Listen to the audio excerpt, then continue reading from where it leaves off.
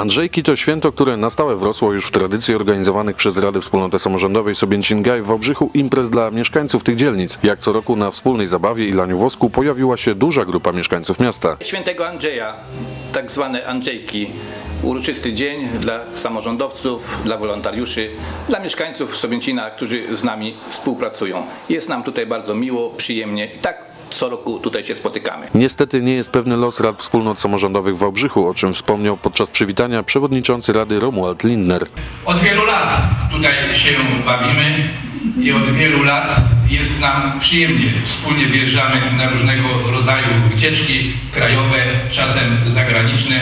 Niektórzy z Was tutaj też razem uczestniczyli i myślę, że jeszcze przez wiele, wiele lat, o ile nam nie zabiorą tej wspólnoty samorządowej, o ile wiemy, że są takie pokusy na to, ale myślę, że jesteśmy siłą, my mieszkańcy Sobięcina i myślę, że jeszcze wiele, wiele lat razem i wspólnie będziemy się tutaj spotykać, współpracować i przy takich okazjach jak dzisiaj bawić się.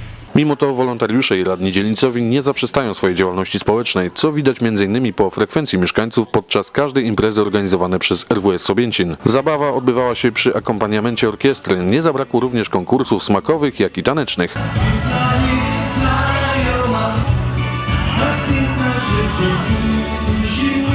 Zabawa nie wyróżniałaby się jednak, gdyby nie tradycyjne lanie wosku. W tym przypadku interpretacja odlanych form była bardzo różna. W tegorocznych wróżbach przeważały tematy związane z podróżami. Podróże, podróże się moje panie. Czyli podróże.